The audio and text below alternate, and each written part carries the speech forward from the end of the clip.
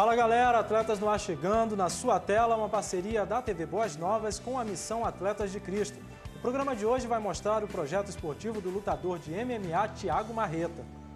Sejam todos muito bem-vindos. Hoje a gente mostra também as dicas para a terceira idade não ficar parada no quadro Em Forma. Tem a expectativa pelos Jogos Paralímpicos Universitários 2016 que acontecem no fim de semana em São Paulo. A gente vai falar também das homenagens aos mortos na tragédia da Chapecoense e atualizar o quadro de saúde dos sobreviventes. Tudo isso a partir de agora para você, começando com o um resumo das atividades da Missão Atletas de Cristo com o nosso amigo Marcos Grava. Olá, meus amigos do programa Atletas no Ar da TV Boas Novas. Aqui Marcos Grava em mais um boletim falando para você das novidades do nosso ministério. Nesta semana que ainda lembramos com muita tristeza e comoção de tudo o que aconteceu envolvendo a equipe da Chapecoense. Pedimos que você que acompanha Atletas no Ar, você continue nos ajudando em oração pela vida de um dos atletas de Cristo, o Neto, zagueiro da Chapecoense, que continua internado ali em Medellín, na Colômbia, e sua saúde inspira cuidados, por isso nós pedimos seu apoio, sua ajuda em oração, para que ele possa superar esse processo de restauração e muito em breve possa voltar para o Brasil. Aqui do Brasil, uma novidade em primeira mão para você que acompanha Atletas no Ar. Tivemos uma reunião aqui na cidade de Campinas, em São Paulo, com representantes dos atletas de Cristo da Argentina. E com muita alegria, depois de 30 anos, vemos como os frutos do nosso ministério aqui no Brasil têm alcançado outros países da América do Sul. Hoje, Atletas de Cristo, além de Brasil e Argentina, também está presente no Peru, na Bolívia, no Equador e também na Colômbia. E nós pretendemos no próximo ano ter um encontro com estes líderes para traçarmos os planos para Atletas de Cristo para os próximos anos. E não se esqueça, na próxima semana, de 16 a 18 de dezembro, acontece no Rio de Janeiro o nosso 33º Congresso Nacional, presenças confirmadas de Baltazar, artilheiro de Deus, o cristão mais conhecido na Espanha em 100 anos, Alex Dias Ribeiro, ex-piloto de Fórmula 1, capelão de atletas, também pastor Josué Valandro, pastor Neil Barreto e a mais recente contratação da nossa equipe, Carlinhos Félix no louvor. Você não pode perder uma novidade para você que está no Rio de Janeiro. Se você puder passar apenas um dia, nós temos inscrições diárias para você que não pode estar durante os três dias. É isso aí. Voltamos na próxima semana com mais notícias de Atletas de Cristo. Um abraço. Como Grava falou na matéria, as nossas orações estão com os sobreviventes da tragédia. E a gente agora atualiza as informações sobre o estado de saúde daqueles que estão hospitalizados. O lateral Alan Rochel já está falando e contou para um dos médicos que mudou de lugar dentro da aeronave antes do acidente. Rochel foi o primeiro sobrevivente a ser encontrado durante o resgate após a queda do avião. O lateral sofreu uma fratura em uma das vértebras e uma lesão no abdômen mas já se recupera e até convidou os médicos para um churrasco. O atleta segue em estado crítico, mas estável. O jogador chegou a ser entubado anteontem, mas já respira sem a ajuda de aparelhos. Outro sobrevivente, o goleiro Folman, também já conversa com os familiares e com os médicos. O arqueiro teve a perna direita amputada, a cerca de 15 centímetros abaixo do joelho. Com isso, a equipe médica está confiante de que a adaptação à prótese será facilitada. O jornalista Rafael Renzel está com uma pneumonia, mas já respira normalmente. A equipe médica afirmou que já identificou a bactéria que causou a doença e está com uma medicação específica. Ele permanece sedado. Seu estado é crítico, mas estável. O caso mais crítico ainda é o do zagueiro Neto. O jogador está sedado e ainda respira com a ajuda de aparelhos por causa de uma infecção pulmonar. A comissária de bordo, Ximena Soares, tem quadro estável e fora de perigo. Nos próximos dias, a boliviana deve ter alta. Vítimas da queda do avião da Chapecoense foram veladas em diversas partes do país no domingo. Jogadores, membros da comissão técnica e jornalistas mortos no acidente receberam as últimas homenagens de amigos e familiares. O repórter Guilherme Marques, o repórter cinematográfico Ari Júnior e o produtor Guilherme Vanderlas foram velados no Salão Nobre do Botafogo, na zona sul do Rio. A cerimônia foi reservada a amigos e parentes. O corpo de Guilherme Marques foi cremado no cemitério Memorial do Carmo e o de Vanderlars, sepultado no cemitério São João Batista. O corpo de Ari seguiu para Goiás, sua terra natal. Os jornalistas Paulo Júlio Clement e Vitorino Sherman também foram velados neste domingo no Rio, cidade onde moravam. Ambos trabalhavam para a Fox Sports. Clemente foi velado no Salão Nobre do Fluminense. O velório de Sherman foi na sede do Flamengo, na Gávea. O corpo de Deva Pascovitch, narrador também do Fox Sports, foi velado ontem na Assembleia Legislativa em São Paulo. Lilácio Pereira Júnior, coordenador de transmissões externas da Fox Sports, também foi velado ontem na Assembleia Legislativa e seguiu para Mirassol, onde será sepultado. Mário Sérgio, ex-jogador, ex-treinador e comentarista da Fox, foi cremado ontem, às seis da tarde, no cemitério Horto da Paz, em Itapecerica da Serra. A maior parte dos mortos foi velada em uma cerimônia coletiva na Arena Condá, o estádio da Chape. O velório coletivo teve muitas homenagens e foi marcado pela emoção. Chovia muito em Chapecó durante a despedida às vítimas da tragédia.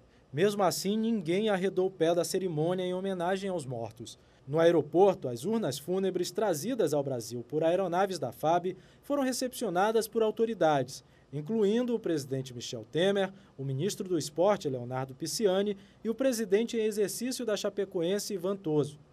De lá partiram rumo à Arena Condá em um cortejo que percorreu as ruas da cidade catarinense.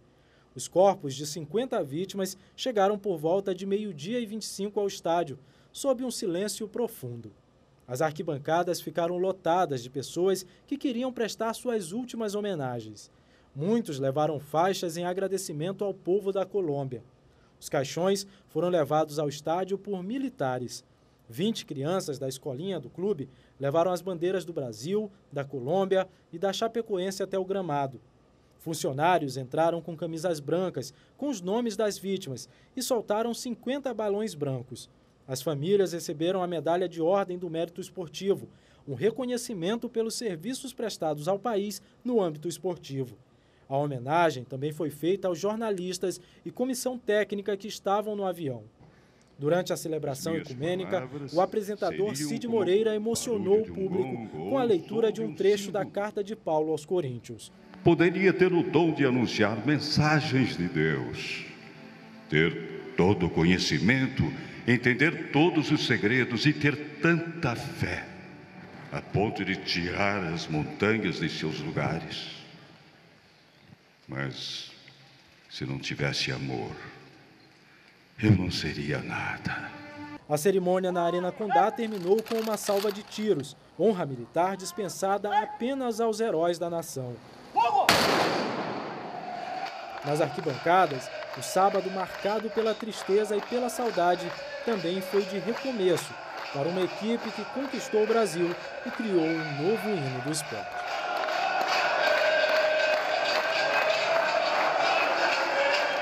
Agora uma boa notícia porque é oficial. A Comembol declarou ontem a Chapecoense campeã da Copa Sul-Americana.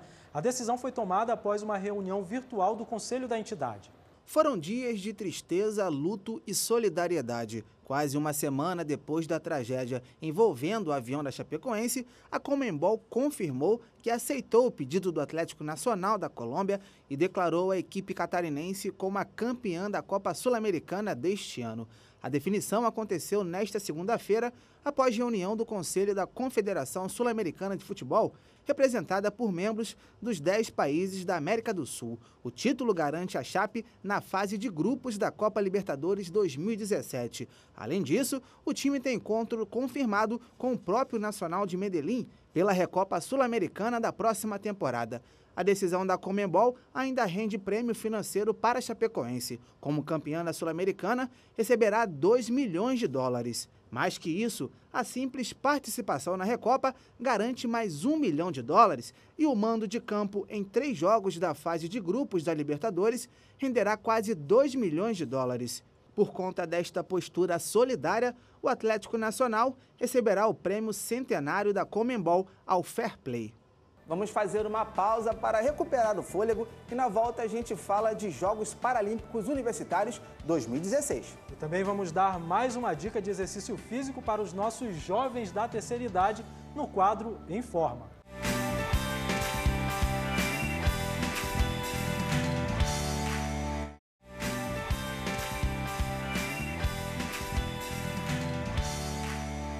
Já estamos de volta com o Atletas no Ar, com destaque agora para o esporte paralímpico, que no fim de semana tem um evento muito especial, não é não, Thiago? É, rapaz. São os Jogos Paralímpicos Universitários 2016, que vão reunir em São Paulo mais de 150 atletas de 17 estados em dois dias de competições. São 107 homens e 47 mulheres em disputas de atletismo, bocha, judô, natação e tênis de mesa. Participam atletas com mais de 17 anos, matriculados em uma instituição de ensino superior reconhecida pelo Ministério da Educação e com alguma deficiência física, intelectual ou visual. As competições acontecem sexta e sábado no Centro de Treinamento Paralímpico em São Paulo. E a gente traz no Atletas da semana que vem os principais resultados dos Jogos Paralímpicos Universitários 2016. Alô, terceira idade! O Informa desta semana está chegando com mais um exercício simples, mas que pode ajudar no fortalecimento muscular, equilíbrio e ainda te dar mais disposição para enfrentar o dia a dia. Fala galera, tá começando mais um Em Forma, aqui do meu lado já professor Alexandre. E você sabe, né? A gente está falando aí sobre exercícios para a terceira idade, para poder melhorar a qualidade de vida desses nossos velhinhos, dessas pessoas que sempre nos ajudam. E nessa semana nós vamos falar sobre remada. E para explicar melhor, é claro, o nosso professor Alexandre. Alexandre, muito bom estar aqui com você mais uma semana. Fala para a gente um pouquinho desse exercício. Olá, gente, bom dia. É importante fortalecer as costas né? para melhorar a postura, para poder, olha só, você ter um, um bom desenvolvimento, olha só, da coluna vertebral. Como você pode fazer isso para quem é idoso? Se você tem uma janela, se você, tem, você precisa de uma base de apoio. Então, você com os pés bem próximo é, à janela, você, você faça o exercício puxando e voltando com o braço. É fundamental para que você possa, olha só, ter os músculos das costas fortes e melhorar a postura corporal do corpo. E, ah, esse exercício pode ser, ele falou, o Alexandre falou janela, mas pode ser em qualquer lugar, qualquer local sólido, né? Um murinho baixo, um murinho baixo, pode ser, entendeu? Desde que você possa fazer o movimento de ir, ir e vir. Devagar, ou é um exercício leve, então para o idoso dá para fazer 3 de 10. Três séries de 10 repetições. Viu aí que é muito fácil, eu acho que de casa todo mundo vai conseguir fazer. E se você não, não, não tiver a oportunidade de ter um local apropriado, tenho certeza que o professor Alexandre aqui vai te ajudar. Valeu, pessoal, até a próxima. Já que estamos falando de malhação, vale essa notícia. Uma pesquisa recente mostrou que mais da metade dos brasileiros consome algum tipo de suplemento alimentar, mas é preciso ter cuidado na hora de utilizar esses produtos. Muito confundidos com anabolizantes, os suplementos alimentares são substâncias químicas produzidas especialmente para complementar a alimentação e para acompanhar a demanda de 54% dos brasileiros que aderiram aos suplementos, o número de lojas especializadas tem crescido bastante no país. Os mais utilizados são os ácidos graxos ômega 3, vitaminas e multivitamínicos, minerais como cálcio, aminoácidos como BCAA, whey protein, probióticos e fibras. Os principais motivos citados para o uso de suplementos foram a saúde, prática de atividade física e razões estéticas. Segundo o estudo, a maioria das pessoas começa a consumir suplementos entre os 31 e os 40 anos. As mulheres são a maioria e, em geral, preferem aqueles relacionados à saúde, como vitaminas, minerais e óleos, enquanto os homens compram mais itens ligados à prática de exercícios, como proteínas e aminoácidos. A maioria dos participantes disse que recebeu recomendação de um profissional de saúde, seja médico, educador físico, farmacêutico ou nutricionista. Em geral, os mais jovens tendem a receber recomendação de educadores físicos, enquanto os mais velhos de médicos. Entre os que consomem por decisão própria, apenas 25% disseram informar seu médico. Apesar dos benefícios, essa endocrinologista alerta. O consumidor deve ter cuidado na hora de escolher o produto. É importantíssimo, antes da pessoa consumir, saber a origem do produto. E se ele tem especificamente as recomendações que foram dadas pelo profissional de saúde que o orientou. O médico ele vai ouvir a sua história, saber qual a sua necessidade, quais as suas doenças, quais os riscos que você tem, inclusive com a sua história de família, e qual é o suplemento mais indicado ou se há indicação mesmo de suplemento para você. Pessoal, vamos agora de basquete. O Mogi das Cruzes encara nesse momento a Liga Sorocabana em partida adiada da primeira rodada do NBB. O jogo é em Mogi. Amanhã, completando a rodada, jogam Campo Mourão e Paulistano 8 e 15 da noite, no ginásio JK, no interior do Paraná. Vale lembrar que o campeonato está na oitava rodada. Bom, e quem lidera a competição é o Brasília, com 13 pontos, a mesma quantidade do vice-líder Pinheiros. Na sequência vem Flamengo em terceiro e Vasco em quarto lugar, ambos com 12 pontos.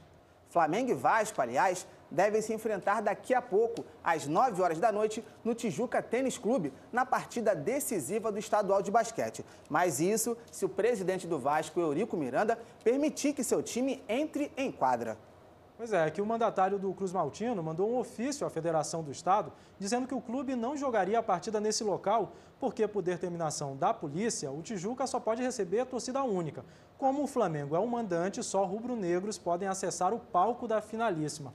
Pois é, que confusão, hein, rapaz, que é, o Eurico Miranda está aprontando aí. Eurico Miranda mais uma vez, né? É, pois é, a gente sabe, entende que é chato jogar uma partida decisiva, é a quinta partida, mas regra é regra, regra é regra, tem que tá aí ser seguir, cumprida, né? né? É, é verdade. Aí. Vamos fazer a nossa última pausa de hoje. Depois do intervalo, tem polêmica na última rodada do Brasileirão. E ainda, o projeto de artes marciais do lutador de MMA, Tiago Marreta, na Cidade de Deus. Voltamos já.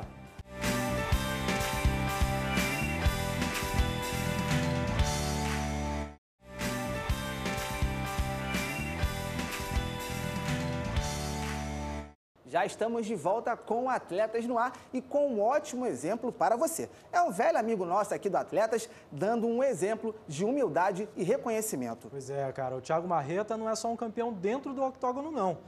Fora dele, o atleta de MMA inaugurou há três meses seu centro de treinamento na Cidade de Deus, que é a comunidade em que ele nasceu na zona oeste aqui do Rio de Janeiro. Lá ele ensina não só artes marciais, mas lições que os pequenos alunos vão levar por toda a vida. Corpo preparado, luvas nas mãos, golpes certeiros. Thiago Marreta não está se preparando para nenhuma competição, não. O peso médio do UFC, na verdade, está se aquecendo para a aula do dia no seu novo centro de treinamento.